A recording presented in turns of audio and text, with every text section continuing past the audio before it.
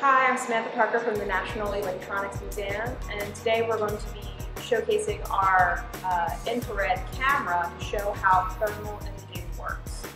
So this is our chart of the electromagnetic spectrum. Um, humans can only see a very small amount of it. It's the, called the visible spectrum. It's right here. Uh, today, for our demo, we're going to be talking about the infrared portion of the spectrum which we can't see, but we can detect as heat. So for our demo here, we have to the right, you'll see it's just a standard black and white video camera and that detects visible light. So it's showing, you know, me, nothing, nothing too special. And then on the left is our uh, IR camera, and that's different because it's actually detecting heat.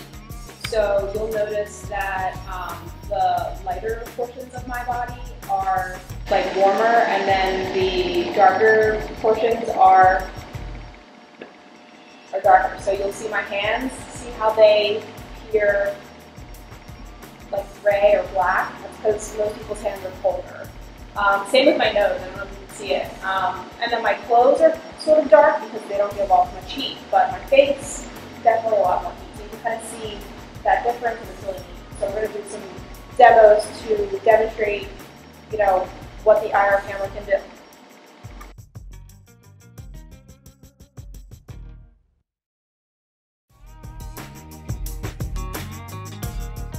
So here I am, I'm in the booth, and I have two just erasers right here. And if I rub these together, that creates friction. Friction creates heat. So and as we know, our IR camera detects heat. So if I rub the erasers together, and I show them to the camera, you can see that the, the heat is created.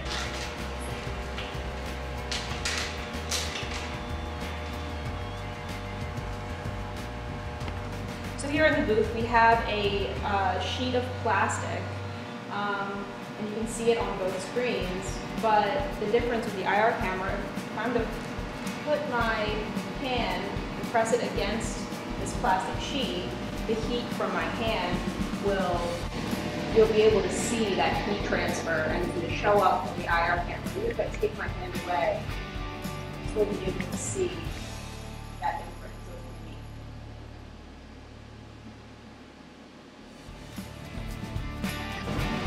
Now here I have a sheet of glass now, when we look at the regular black and white camera, you'll see that still see me. That's because um, glass allows visible light to pass through. But then if you look at the IR camera, I'm completely, you can't see me at all because glass does not allow uh, thermal emissions to pass through. So now we just have a standard grocery bag, um, and you'll see that this does something completely different than the sheet of glass that I have. So on the uh, black and white uh, image, see I'm blocked out, can't see me, just as you would expect, and then you can go over to the infrared image, it's completely see-through. You can pretty much, you know, see me through this plastic bag because uh, infrared does not reflect plastic. So here in the booth we have a just a piece of polished aluminum. Um, as you can see it's not a mirror, not reflective at all. Um, and if we look at the, the regular TV camera, you can see it's just the round sheet of aluminum. But what's amazing is that when we take a look at the IR camera, you can see my reflection in the sheet. Um, and that's because my heat is reflecting off that piece of aluminum and it